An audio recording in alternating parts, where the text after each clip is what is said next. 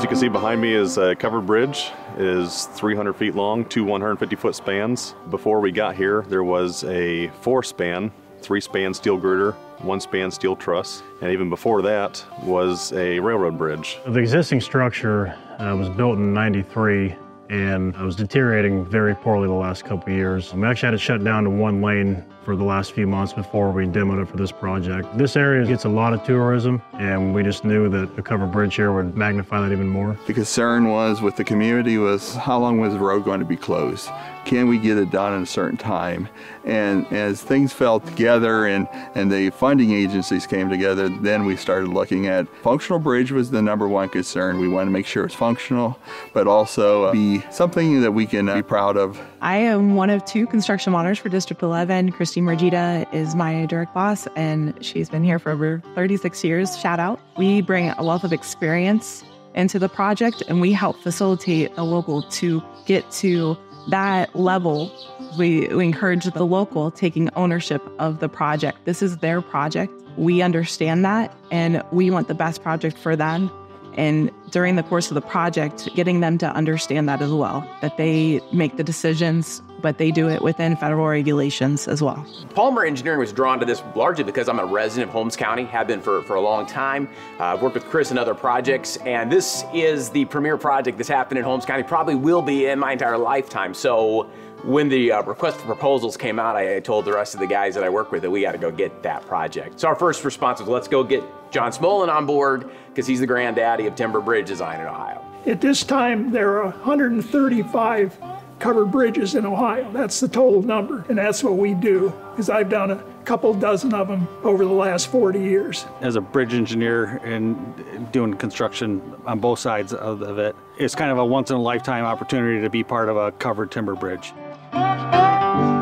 Wood is a good bridge building material. After all, in, in pioneer days, that's about the only kind of bridge you had was wooden bridges. Number one, the, the bridges have longevity.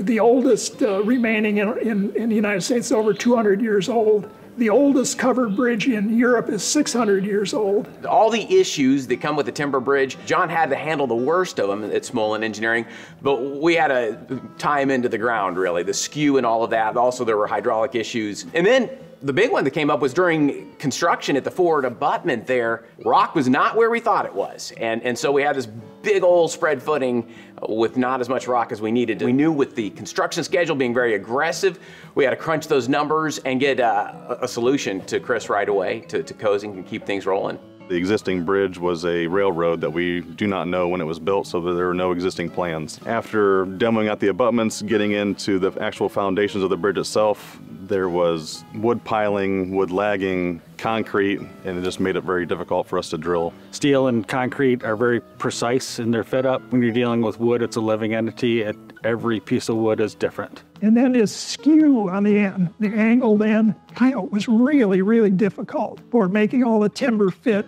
because so many timbers were all individually sized. To square off the end, we had to run the, the short side out so it would look square on end, look proper. When we design a steel structure to fit up with a wood structure, that's when the really the teamwork really came together and myself, an engineer on the project, and OHM was detrimental in expediting all that process and coming up with fixes quickly and not holding up the job at, at, all, which caused us to finish four days early. The biggest issue I think we had was public interest and the staging of the project. We had to know where we were going to set the trusses, where the cranes were going to be to set over the Mohican, and we had RVs on either side of this bridge where there was a lot of tourism, a lot of interest coming into this project that was going to be a big area of concern for the county as well.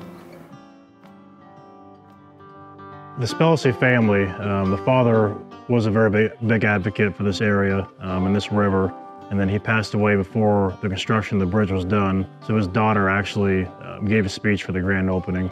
She talked about the history of her family and how much her father would have loved this bridge and appreciated it, and he never got to see it. So, very emotional time for her and also everybody else involved in the grand opening. In the midst of all the issues that we had come up throughout this project, none of it could have been possible without the different partnering with uh, OHM, ODOT, and the county all working together to pull this fast turn turnarounds with RFIs, all the design issues that we had, pretty much everybody coming together and really digging into this and making it the project that it is today. It was kind of a refreshing process going through with Kokosing. It was, we laid things on the table, uh, had open discussions. There were times where we disagreed with each other, and that's fine, um, but we always came away with respect with each other. So This is an impressive, impressive bridge when you drive up to it and drive through it. My, I know my architect was very pleased with how it came out. Kudos to the Kokosing's carpenter team because you could have cut this up and, and, and hacked it up and made it all fit very easily and, and, and quickly, but they took their time and, and really put in a